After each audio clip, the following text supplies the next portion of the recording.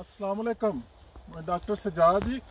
आपको जैसे साथ साथ स्वीडन डेनमार्क, नॉर्वे की सैर करा रहे हैं और स्पेशली जो इनका इन्वायरमेंटल प्रोटेक्शन है।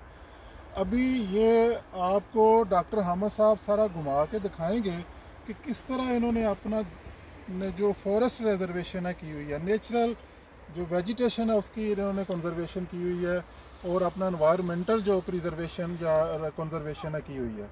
ये चार और ये चप्पे चप्पे पे नॉर्वे में आपको डेनमार्क में इस तरह के फॉरेस्ट नज़र आते हैं। अभी हम ये स्वीडन और डेनमार्क के बॉर्डर पे खड़े हैं सशबुर्ग का इलाका है। और ये देखें, ये जगह जगह इन्होंने इस तरह आप रोड पे किसी तरह भी चले जाएँ, किसी शहर की तरफ़ आपको राइट लेफ़्ट हर तीन चार किलोमीटर के बाद ऐसा जंगल नज़र आता है। आपको एक और चीज़, पाकिस्तानी और इंडियन फ्रेंड स्पेशली ये डीला आपने इतना बड़ा और इतना ज़्यादा डीला कभी नहीं देखा होगा। इन्होंने इसको नेचुरल वेजिटेशन के तौर पे कंजर्व किया हुआ है। ये अगर मैं आपको खाड़ के दिखाऊँ तो